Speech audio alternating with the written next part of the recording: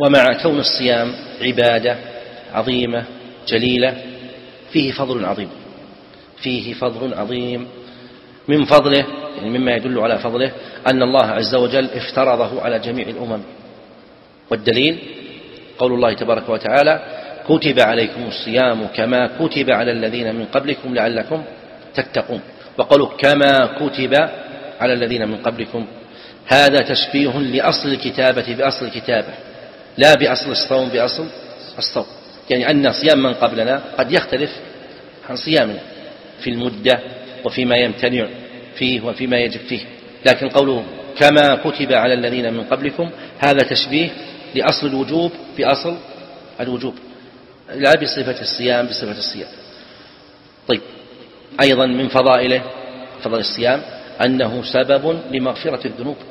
سبب لمغفرة الذنوب.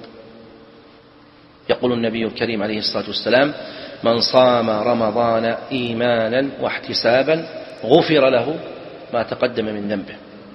من صام رمضان إيمانا واحتسابا. إيمانا بالله وبفرضية الصوم عليه واحتسابا لأجره وثوابه.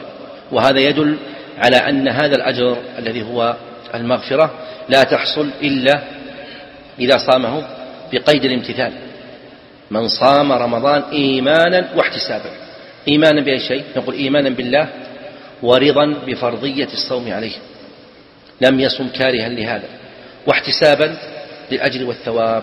فعلى هذا من صام لا إيمانا واحتسابا وإنما عادة فلا يحصل له المغفرة. لأن من صام شرطية. غفر جواب الشرط. طيب. ومن أيضا فضائل الصوم أن ثوابه وأجره لا يتقيد بعدد معين.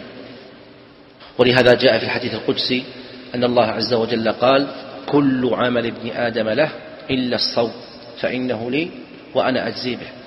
يدع شهوته وطعامه وشرابه من أجلي إلى